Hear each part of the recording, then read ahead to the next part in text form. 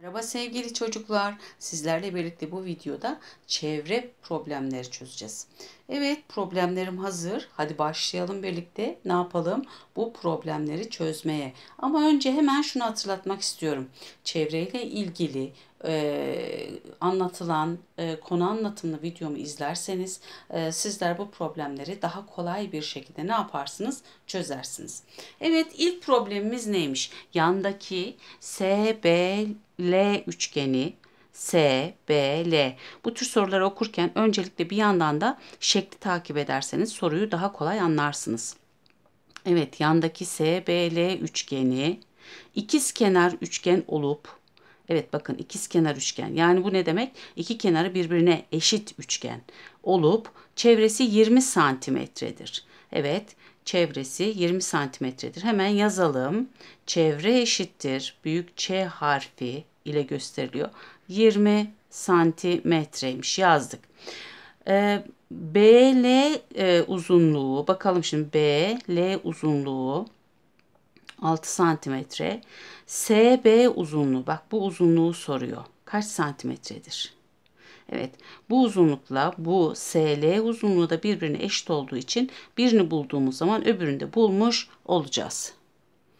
Evet problemimizi bir kere daha göz atacak olursak ne yapılmış? Üçgenin çevre uzunluğu 20 santimetre olarak verilmiş. Evet bakın bu şuradan başlayıp şöyle tekrar geldiğimiz zaman çevresini e, ne yapmış oluyoruz? Bulmuş oluyoruz. Peki e, bu bir ikiz kenar üçgenmiş. Yani burası SB kenarı kaç santimetre ise SL kenarı da o kadar santimetreymiş. Ve diğer e, kenar 6 santimetreymiş. Ne yapacağız şimdi? 20'den önce 6 santimetreyi çıkaracağız ve iki tane ne olacak? İkiz kenarın uzunluğu kalmış olacak. Hadi yapalım. Evet işlemimiz hazır. 20 eksi 6 dedik. Sıfırdan 6 çıkmaz. Evet bir onluk aldık. Burada 1 kaldı. Çizdik üzerine. Burada 10 10 e, oldu bir onluk alınca. 10'dan 6 e, çıkarsa 4 ve bir yanına geliyor. Bir onluk kalıyor. 14 santimetre. Bu ne? Bu SB ile e, SL'nin uzunluğunun ikisi de var burada. Hemen yazalım. Evet ikiz kenarların uzunluğu 14 santimetredir diye yazdım. Şimdi iki tane ikiz kenar yani hem üzerinden gidelim bak SB var hem de SL var. O zaman bir tanesi istendiğine göre 14'ü de ne yapacağız? Aferin size 2'ye böleceğiz. Hadi bölelim. Yan yana bölme işlemi yapmayı tercih ediyorum. 14'ü 2'ye bölüyoruz. Birin içinde 2 yok. 14'ün içinde 2. 7 kez. 2 kere 7 14. 7 santimetre. Bu nedir? Bu ikiz kenarlardan birinin uzunluğu. Evet bak buraya da SB'nin uzunluğu diye yazdım. Ne bulduk sonucu 7 santimetre. Doğru seçeneğimiz B seçeneği. Hadi bir diğer soruyla devam edelim. Kare şeklindeki bir havuzun çevresi 32 metredir. 32 metre uzunluğundadır. Buna göre bu havuzun bir kenarının çeyreği kaç metredir diye sorulmuş. Hadi bir kare çizelim. Evet çizdim. Karenin çevresi ne kadardı? Bakın karenin çevresi 32 metre. Hemen yazalım. Büyük Ç harfi eşittir 32 metre. Buna göre bu havuzun, bu bir havuz, bir kenarının çeyreği kaç metredir diye sorulmuş. Karenin neydi? Bütün kenarları birbirine eşitti. Tüm kenarları eşit olduğuna göre bir kenarını nasıl buluruz? 32'yi aferin size 4'e böleceğiz değil mi? Hadi bölelim. İşlemimiz hazır. 3'ün içinde 4 yok. 32'nin içinde 4. 8 kez. 4 kere 8 32 değil mi? Evet. E, yani işlemimiz işlemimizin sonucu 8 metre. Evet sevgili çocuklar bakın e, ne yaptık? E, karenin bir kenarını bulduk. Burası 8 metre. Burası da 8 metre. Evet. Burası da 8 metre. Burası da 8 metre. Bir kenarının nesi soruluyor? Çeyreği. Bak şu bir kenarı. Bir kenarının çeyreği. 8 metrenin çeyreğini nasıl buluruz? Aferin size. 8'i de ne yapacağız? 4'e böleceğiz. Öyle değil mi sevgili çocuklar? Evet. 8 bölü 4. O da eşittir 2 metre. Evet bir kenarının çeyreği 2 metre. O da A seçeneği. Hemen işaretledik.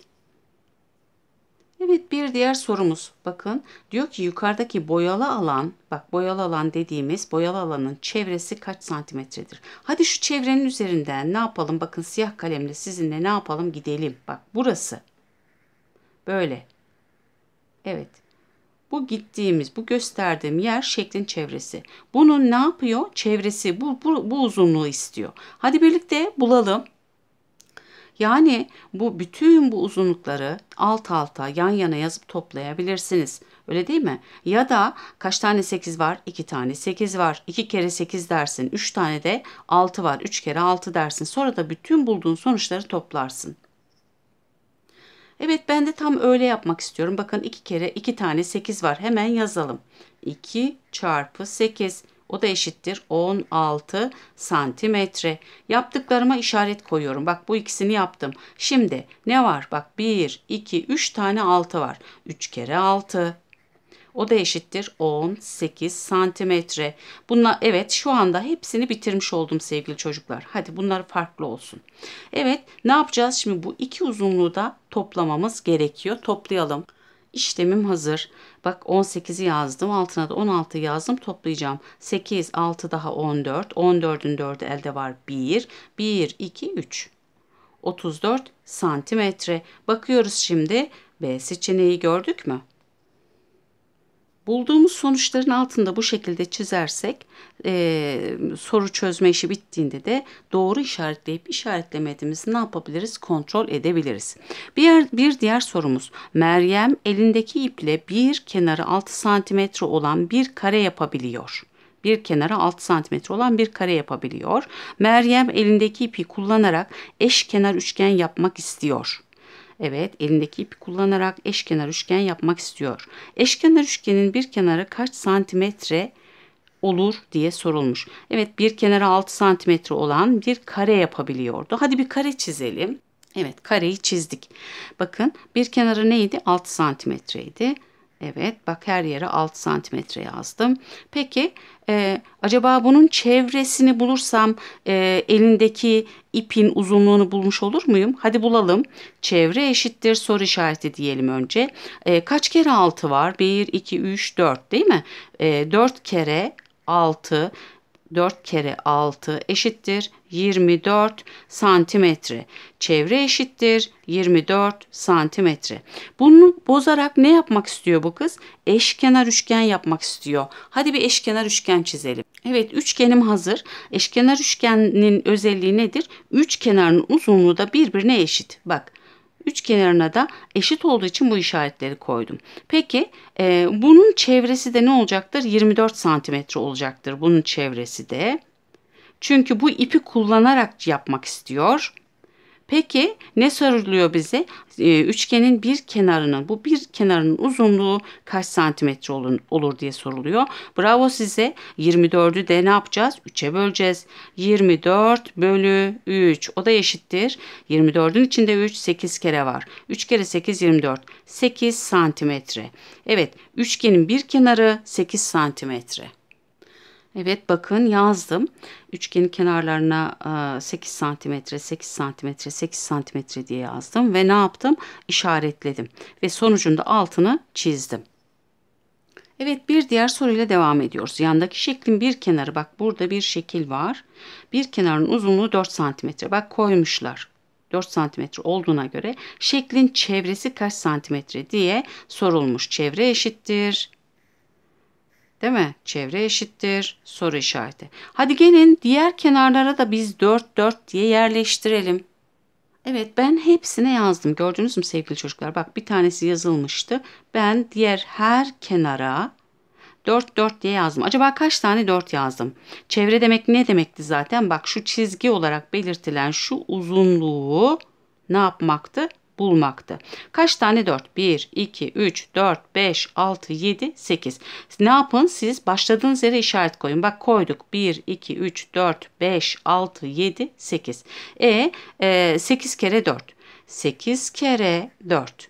O da eşittir. 4 kere 8, 32. 32 santimetre. Evet 32'nin altını çizdim. Bakın D seçeneği hemen işaretledim. Evet bir diğer sorumuz bu biraz ilginç bir soru. Şekildeki CED üçgeni bulalım. C bak burası C C evet üzerinden şöyle çizdim. E ve D üçgeni. Evet bak bu üçgenin e, ikiz kenar üçgen. Burası ikiz kenar üçgen olup çevresi 24 santimetre. Evet çevre eşittir 24 santimetre. Evet CE bakalım bulalım. CE ile ED bak ED birbirine eşitmiş. Burası 9 santimetre. E burası da 9 santimetre. Çünkü öyle diyor. Ve bunlar ikiz kenar üçgen zaten. Buna göre diyor BCD üçgeni. BCD üçgeni. Bak bu üçgenin ne yapıyor? Ee, B CD eşkenar üçgeninin çevresi kaç santimetre?